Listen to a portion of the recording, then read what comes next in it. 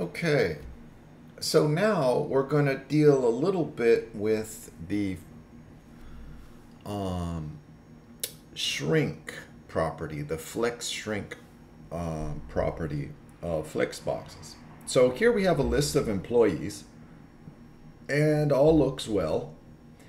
Um, and let's take a look. And again, as as I've said before, you guys, you can go to um, the video description to get all of the code for this. Right, you go down here. Um, so let's take a look. There are. Here's my container. And here are all the flex items. I've called them flex item employee. Um, and so on the items, we have flex 1, 1 auto. And again, these videos are in series 1, 2, 3, 4, 5, 6. So you need to have watched the video just prior to this one to fully understand it. So now we've got a height of 35 pixels. But let's let's say that we uh, well first let's review flex grow. Let's say that we put flex grow to zero.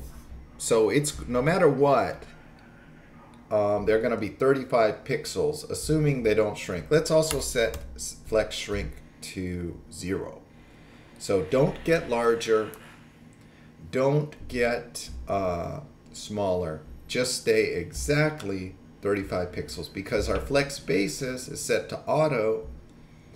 Um, and if it's auto, it will first say, okay, is the, uh-uh, okay, one other thing. On my container, I have set the flex direction to column. So remember that the, the main axis is going to be vertical. Okay, going from top to bottom.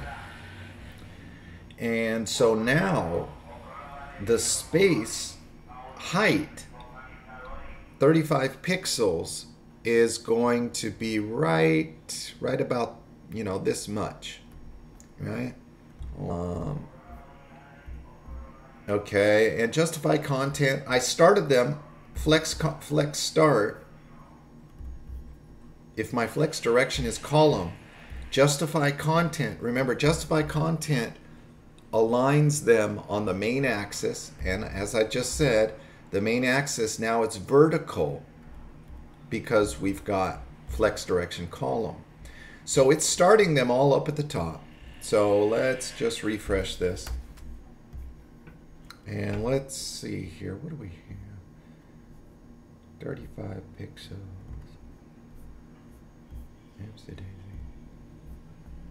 Well, let's come down to 25.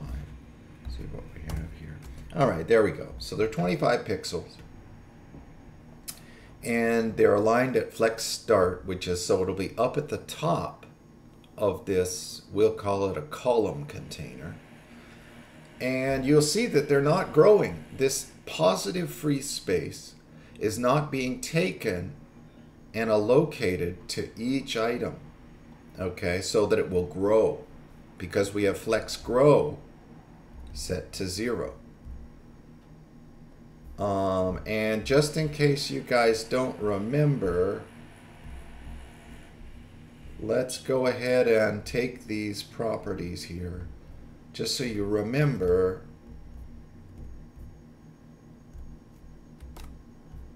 Okay, R.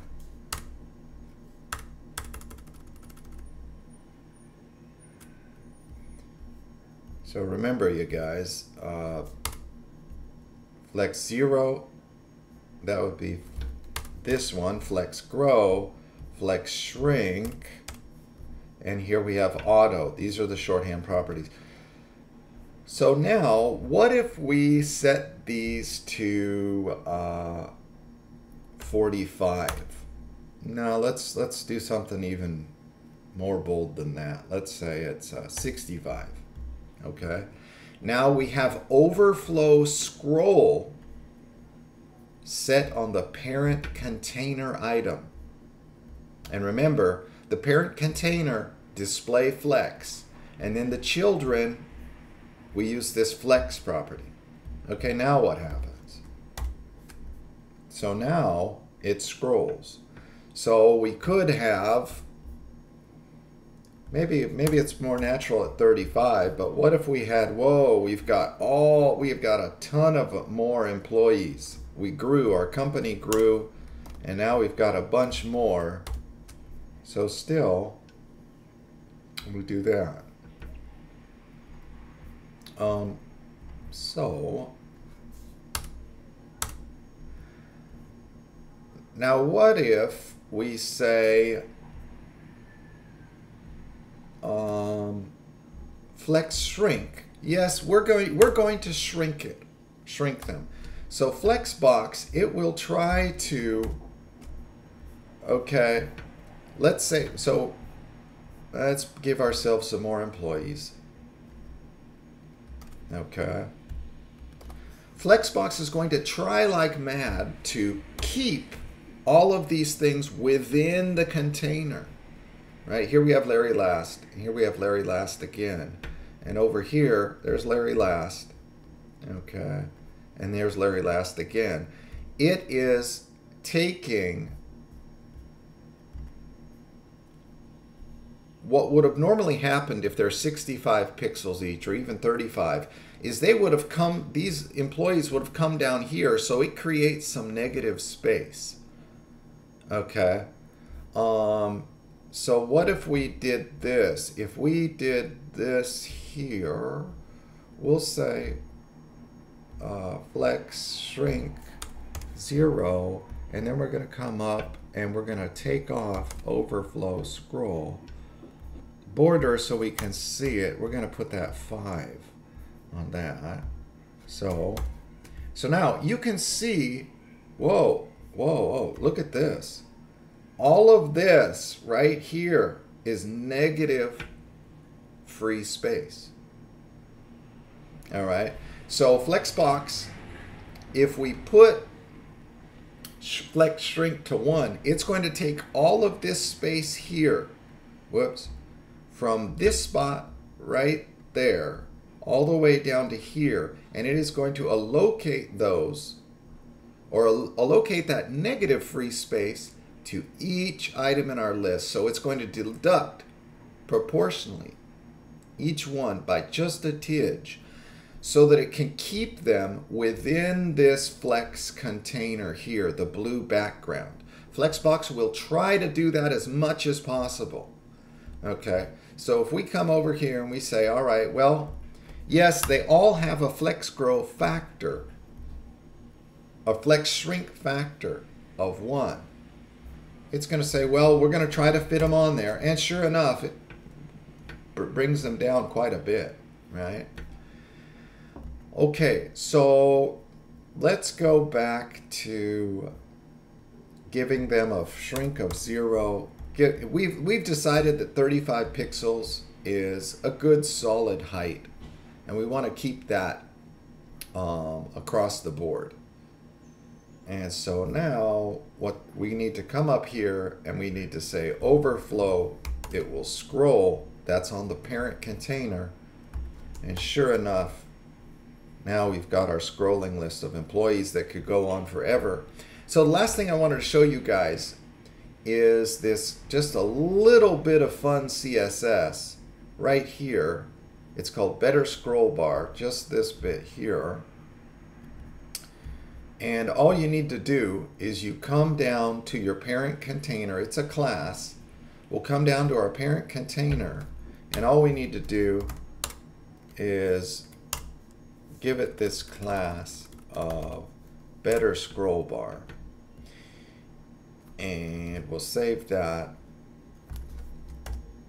And now we've got a scroll bar here that if you come to the page you don't have to hover your mouse and kind of move a little and then the scroll bar appears. It's much better, I think, for users, especially users that are going to be new to your site and they're not sure how to use things initially, this will tell them right away that, oh, whoa, whoa, I have a lot of choices. Now, of course, you have, um, and you can modify it to just, you can modify the, the color, um, you can do all sorts of things there. And one thing to note with this scroll bar is we've got Firefox and then we've got Google Chrome. Um, and then you've got Google Chrome on a Mac versus Google Chrome on Windows and Firefox on Chrome versus Firefox, or excuse me, Firefox on Windows versus Firefox on Mac. And one thing I've noticed is that there's one of those four I forgot. I, I, I used this in something I built for my old employer, a company, about, I don't know, seven or eight months ago.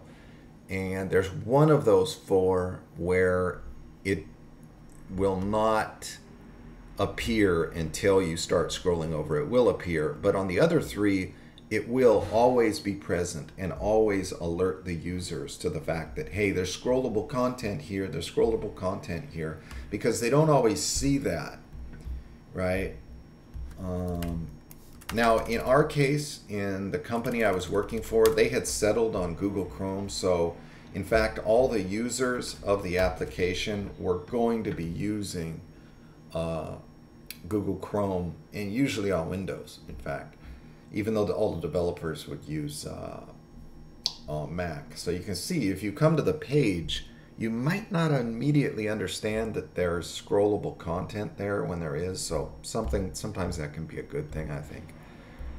But maybe not. It's you know it's up to you. Whatever. Um, now what else could we do? Ah, that's basically it for this one.